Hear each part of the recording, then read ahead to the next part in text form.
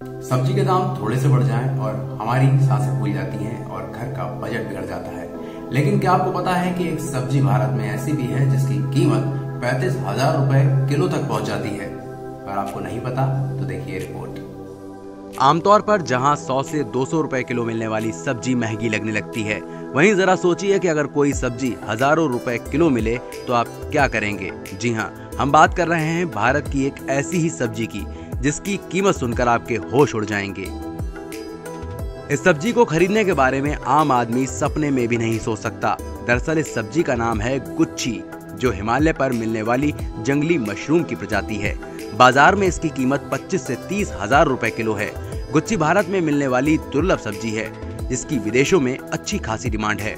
इस सब्ज़ी के दाम को देखकर लोग मज़ाक के तौर पर कहते हैं कि अगर गुच्छी की सब्ज़ी खानी है तो बैंक से लोन लेना पड़ेगा। गुच्छी में पाए जाने वाले औषधीय गुण दिल की बीमारियों को दूर करते हैं। इसके अलावा ये सब्ज़ी शरीर को अन्य प्रकार का पोषण भी देती है। गुच्छी एक तरह से मल्टीविटामिन की प्राकृतिक गोली है। ये सब्ज़ी फरवरी से लेकर अप्रैल के बीच मिलती है, जिसे बड़ी बड़ी कंपनियाँ और होटल हाथों हाथ खरीद लेते हैं। अमेरिका, फ्रांस, यूरोप, स्विट्जरलैंड और इटली में गुच्छी की सब्ज़ी खाना लोग बहुत पसंद करते हैं। हालाँकि इस जंगली सब्ज़ी को इकट्ठा करने के लिए जान जोखिम में डालकर पहाड़ पर बहुत ऊपर जाना पड़ता है। इस सब्ज़ी को बारिश के दौरान जमा कर सुखा लिया जाता है, जिसके बाद इसे उपयोग में लाया जाता है। पाकिस्तान के हिंदकुश पहाड़ों पर भी गुच्छी की सब्ज़ी उग जाती है। पाकिस्तान के लोग भी इसे सुखाकर विदेशों में बेचते हैं।